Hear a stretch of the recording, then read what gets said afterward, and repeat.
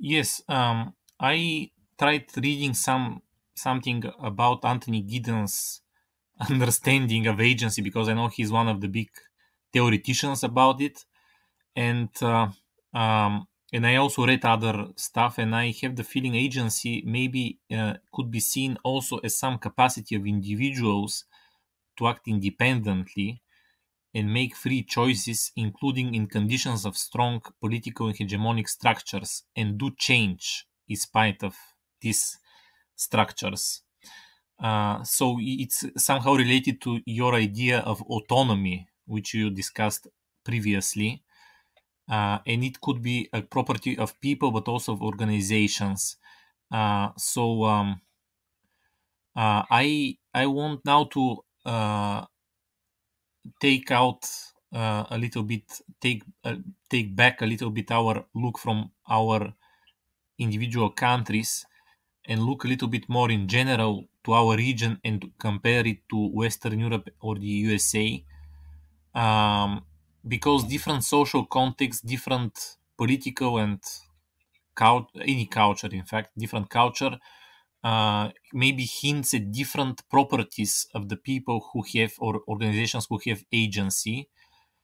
And uh, uh, I have the feeling uh, many theories about agency deal with some kind of clean environment where uh, people um, just act or just are. But I'm aware in our region of a fallen nature. So, you know, I have the feeling often in our region, maybe somebody has some uh, level of agency, but there is also some kind of fallen nature and uh, of his person or his uh, organizations. Uh, it's not pure essence. It is somehow something which is still to be emancipated, maybe, and uh, I want to ask in this sense, um, uh, what could be the specifics of agency in general in Southeastern Europe, uh, and um, uh, how exactly this population of ours, which generally is not very much involved in political or social action, uh, there is always this understanding that people are generally apathetic and withdrawn from uh, life um, how could um, greater level of agency be encouraged and promoted in our region? Well um, i think it does relate to the autonomy discussion that we had at the beginning. Um, and again um, in a collective uh, collectivist society from uh, Hofstede's understanding of uh, relying on the collective, the, the tribe, the group, whatever. Um, you can you can look at agency, for instance, at China. Um, think about the reform that China had to go through when computers uh, first appeared.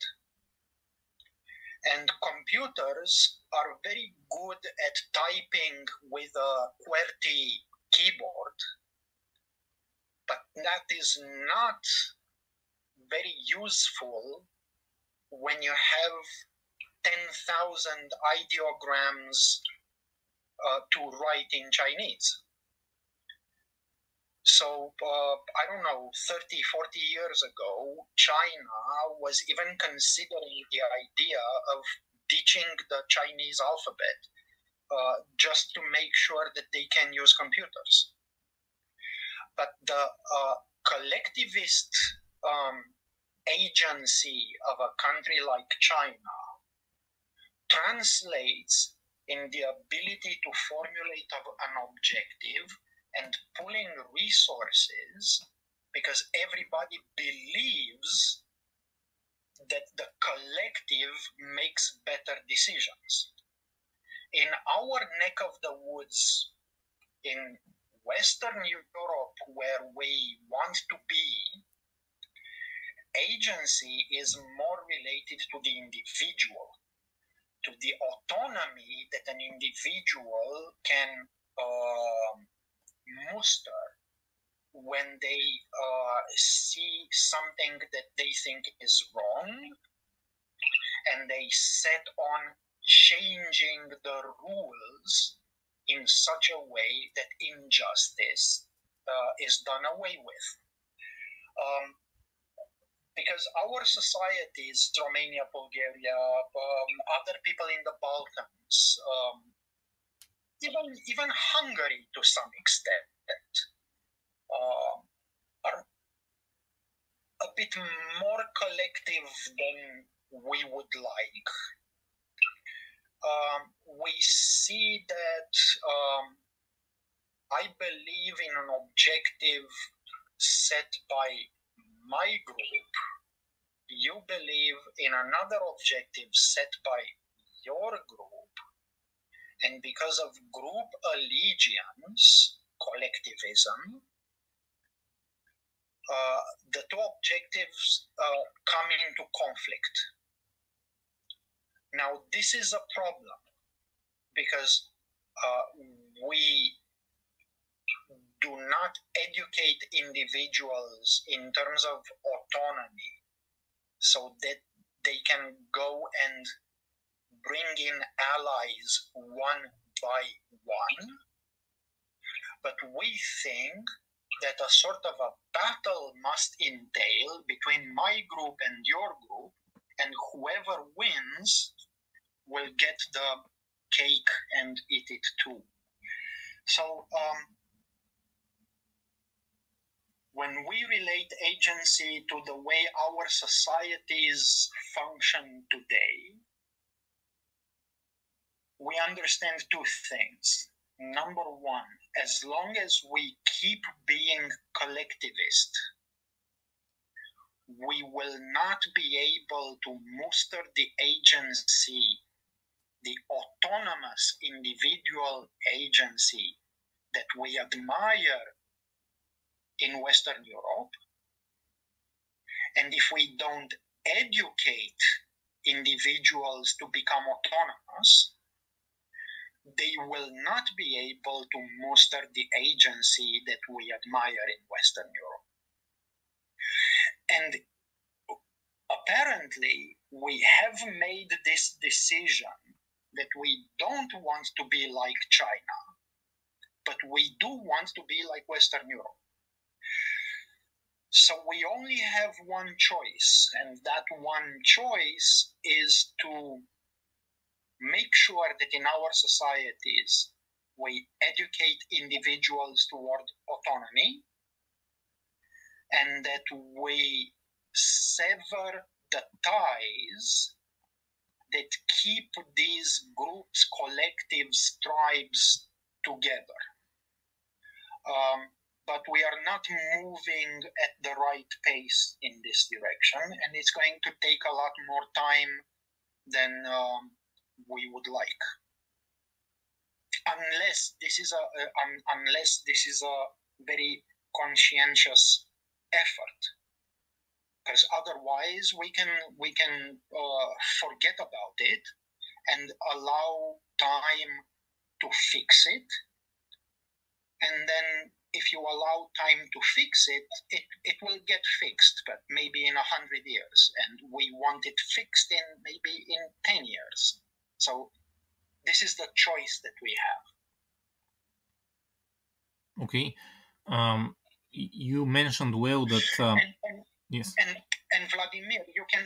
I'm, I'm sorry, just one second. You can you can see um, this new trend about agency related to autonomy in our region, you can see it if you look at a number of social movements uh, with minorities.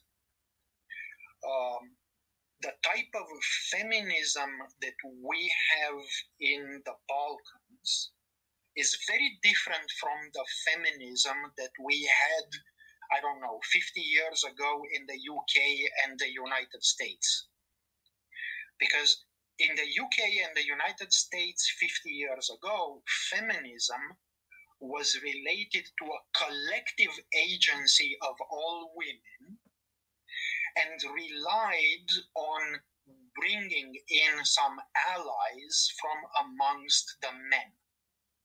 But in, in uh, Romania, Bulgaria, Moldova, I'm sure if you look at it in Macedonia or in Albania, possibly even in Greece or Turkey, you will see that feminism is predicated on the autonomous agency of a woman who wants to be seen as equal and respected as a human being, not in comparison to a man, but in comparison to any other human being.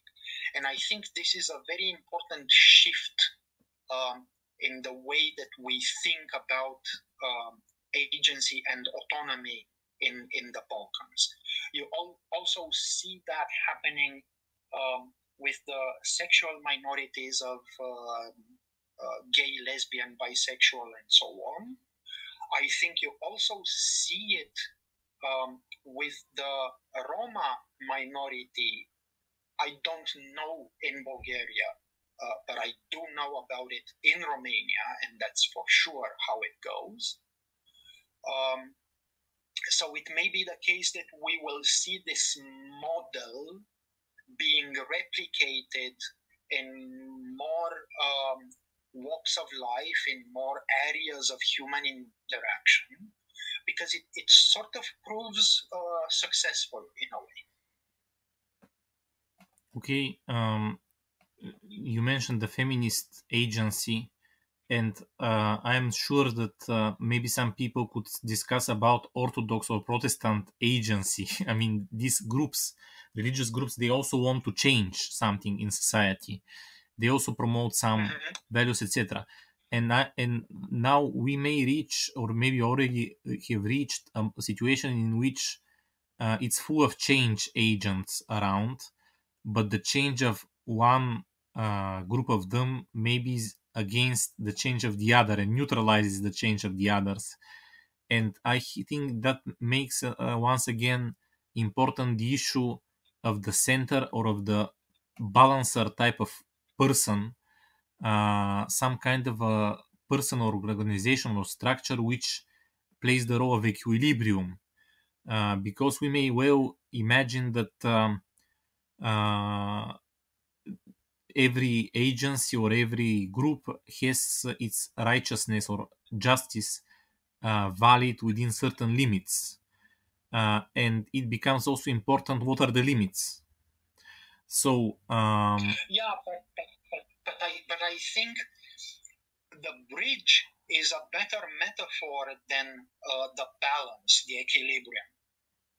Because the bridge brings allies together and also maintains the balance a okay. bridge that doesn't maintain the balance will collapse. Mm-hmm. But the bridge not only maintains the balance, it also brings allies together. And again, agency means that you have a clear objective, you have the resources and the allies, and the capacity to bring them together and channel their efforts in order to achieve the objective. So um, I think what we need is not necessarily a center that keeps the balance, but a center that bridges alliances between um, changes or objectives that are compatible. Now, it may be the case that some of the objectives that are not compatible will remain on the fringes and they will probably continue to contribute to polarization. Uh, but I would very much like to focus on those objectives that relate to um, the, the bridge in the center, the one that brings everybody together. Um, and that is mostly going to to uh, relate to some of the core values of um, um, togetherness and um, uh, equality or equity, if you want, um, respect for uh, human dignity. Um, and this is not ideological to the left or to the right. Uh, this is um, simply human nature. Okay, um, I can't help also asking you about journalism and change, um, because it, it journalism is something like the thing that stands in between all the uh, justices, all the rightfulnesses, uh, all the change agents. Uh, it's some kind of a middle ground. Uh, um, media is the middle ground. Uh, but it is also deeply discredited profession in Bulgaria, uh, and it is reduced to a large extent to being propaganda outlet for the political and economic powers in society. So, in fact, journalists, at least in Bulgaria, in my view, very rarely have their own agency. Most of the time, we are encouraged to just translate or don't mess with strong interests uh, it requires, as you said, a lot of qualities are necessary for being uh, agent or having agency, but also a lot of uh, qualities, maybe even more, are required if you want to be a journalist who uh, does something like change in, through his work. And also, journalism or pre- the press often becomes something like a stick. So when uh, various economic groups or political parties want to battle, they battle through journalists. They use journalists as weapon. Uh, so, uh, in this sense, um, what is the potential of journalism to bring change in our region when it has such a fallen nature in general? But it. Vladimir, I think we need to differentiate two very important aspects related to journalism.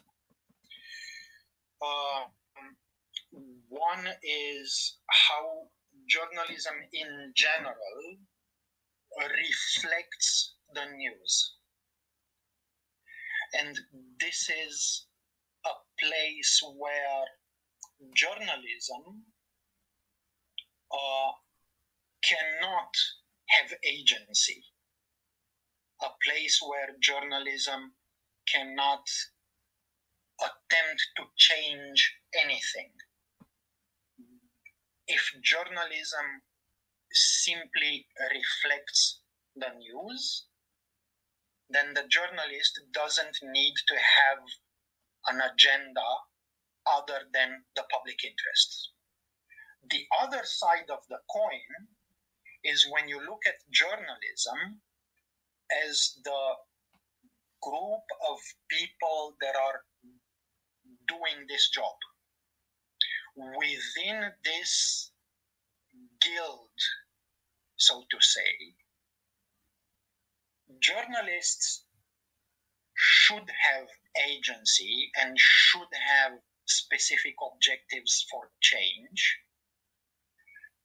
in the sense that um, a journalist that agrees to become um, the stick of a politician or the propaganda outlet of a political party or, or the face of a specific oligarchic interest or the uh, ally uh, of a um, foreign agent.